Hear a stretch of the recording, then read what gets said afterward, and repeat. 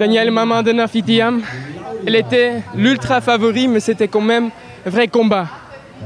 Oui, elle est ultra favori, mais je sais moi que c'est pas parce qu'on est ultra favori qu'on gagne forcément. Donc, euh, comme elle dit toujours, on commence avec les filles, elles sont très fortes. À Guedis, elles avaient été plusieurs à faire euh, l'année passée déjà 4000 points après la première journée.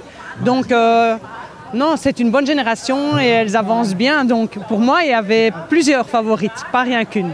Comment vous avez vécu ces deux jours bah, j'ai pris 10 ans, hein, voilà, comme d'habitude. Oui. Moi, je, suis beaucoup plus nerveuse que Nafi. Et euh, c'est très difficile pour moi. Je suis très fatiguée aussi, comme si j'avais fait l'EPTA moi-même, oui. Est-ce que vous croyez que c'était possible après la hauteur?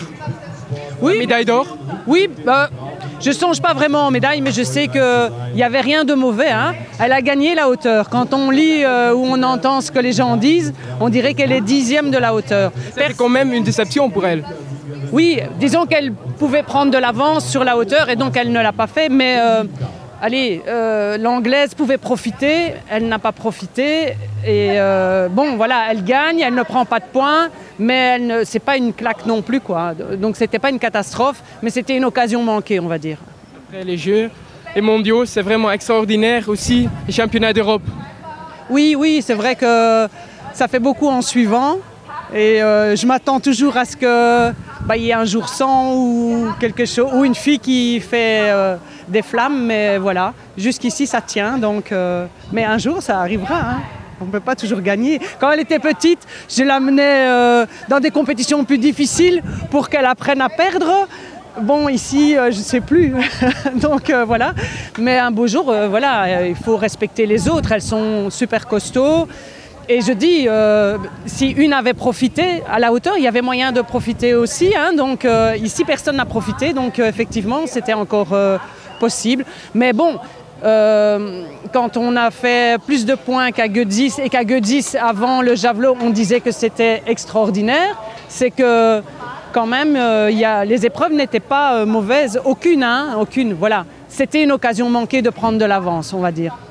Pour des avenirs des années à venir, le record du monde s'arrête dans les coins de vos têtes? Non, jamais. C'est même jamais arrivé à ma tête.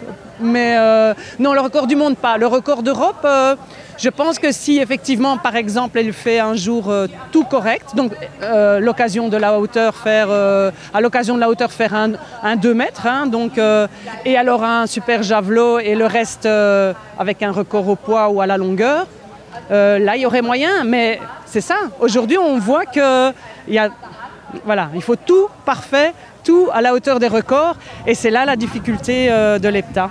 Daniel, vous allez célébrer ce titre?